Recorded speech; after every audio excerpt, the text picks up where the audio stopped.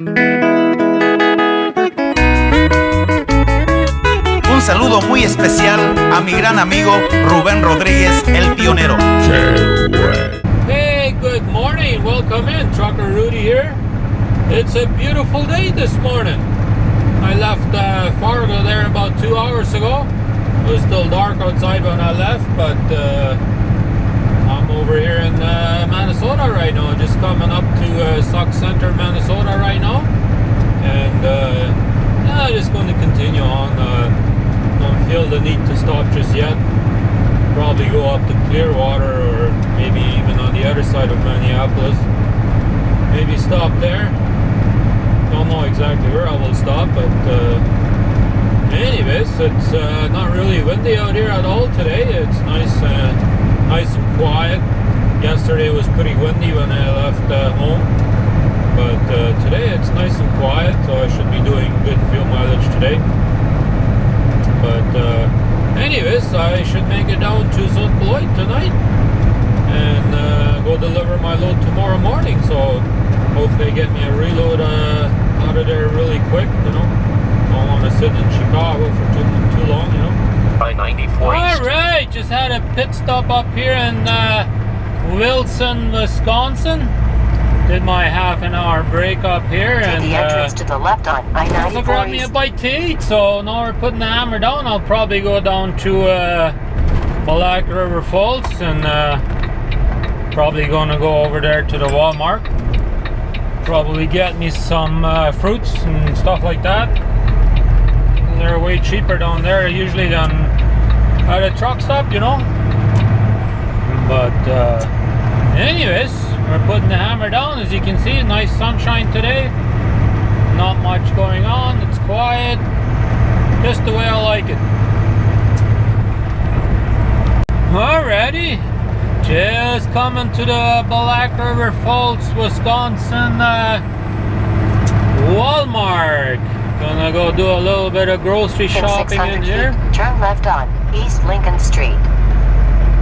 and then Turn uh, left on East East Lincoln Lincoln, Street. Street. we'll have something to eat at least, you know. But uh, anyways, I'll go park here, and uh, I usually park right here where you see that tractor up here ahead. That's usually where I back her into, and usually leave us alone up here. But anyways, I'll go do that, and then In I'll be back later. miles. All right, just leaving Black River Falls, Wisconsin. They used to deal with the uh, GoPro cameras, and they no longer have them. I was gonna go uh, check them out In and see what they look like right and all that good 54. stuff, right? But nope, they no longer carry them here in the, at least not here in Black River Falls, Wisconsin. So I just went and got me a gallon of oil and uh, got me new In uh, 600 feet, turn right on WI-54. Low beam headlight uh, light bulbs. I got me new ones up here. They uh, Turn right on WI-54. just had uh, headlight burn out the other day, and a friend of mine told me Turn right on Highway 54. in Ontario apparently, if you don't have a spare headlight with you, you can get a $75 ticket for that. So figure I'd get me some uh, spare light bulbs. So uh, I always have one, you know. Because he had a friend of mine, he had uh, one of his friends uh, had a headlight burned out, so the scale pulled him in and said, uh, You got a headlight out, that's a $304 ticket. He said, Oh no, I got a spare, if that's okay, I'll go change it. He said, Yeah, you can go ahead and change it. So he went and changed it. DOT comes back to him and he says, uh, Do you have a spare now? And he says, No, I don't, I just put it in. He says, Here you go, have a $75 ticket. Give him a ticket for that. Like, what kind of crap, you know? But that's how life is these days. In They want point four you- miles, take ramp I'll on the take it right for everything, I-94 East. So I figure I try and prevent that if I can, you know?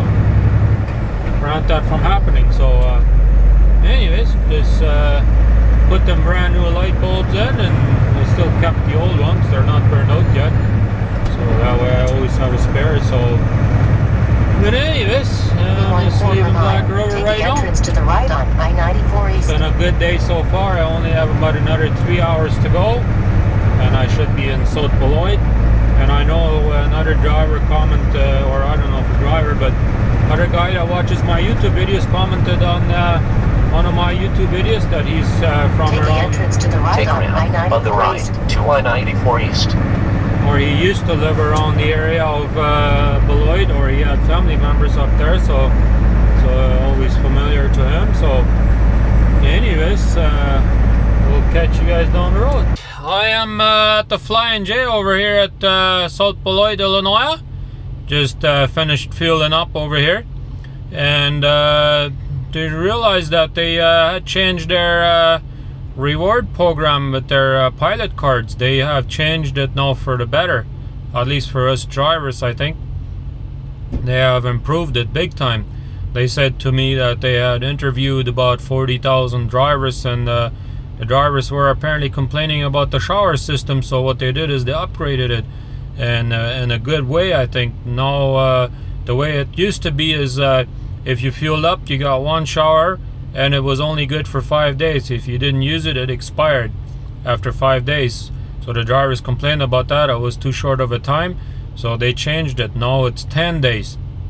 And on top of that, yet, what they did is uh, they changed it, uh, uh, or, or they gave you some sort of bonus. If you fuel up for 500 gallons a month, you get a free shower every day. Isn't that awesome, eh? That's that's something I think that's uh, uh, definitely a big plus for us drivers out here because we want to smell good too, right? Because uh, there's enough uh, people always saying all these junkies in the trucks, right? Now there is a change. Now you can take a shower every day if you fill up for 500 gallons, what you easily do in a month, anyways. At least I, I usually fill up about 1500 to 1700 gallons in a month, so it shouldn't be any problem for us to get that uh, free shower every day, right? So uh, no excuse for you anymore not taking a shower. Well, that about should do it for today. Uh, I just figured I had to say that and uh, make it a little more interesting for you guys. But uh, anyways, I'll cut this for today, and uh, I hope you guys enjoyed it. We'll see you tomorrow at 5 a.m. Thanks for watching.